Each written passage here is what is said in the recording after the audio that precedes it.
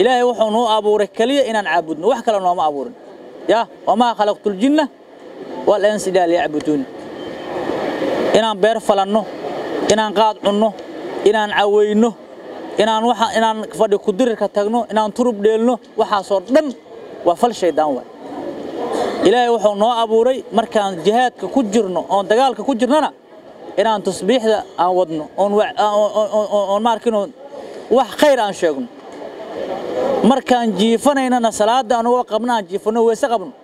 Ya? Markaan soo kacnana aan cibaado la kacno.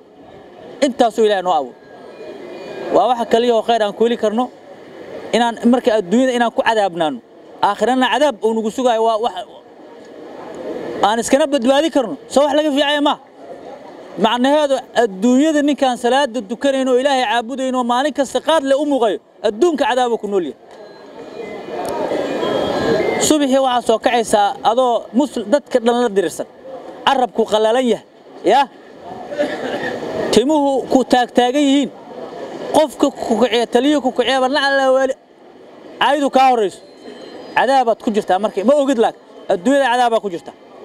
Aakhirana cadaab naarahoo dhimbilaha oo dab lagu ridaayo ku hor yaal.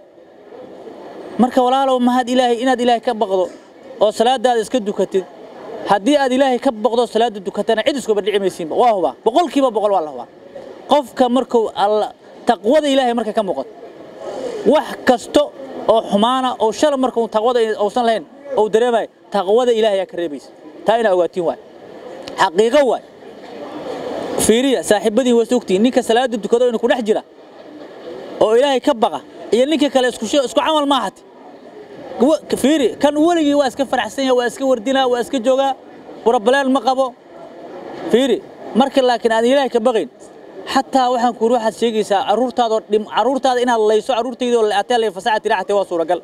Waa soo aragnaa aniga nin dhahayo maanta baabuuraa la guddooma carruurta dhimeed macal hooyadaa ku dhimad ma ahan yaa hal qof kama dhiman.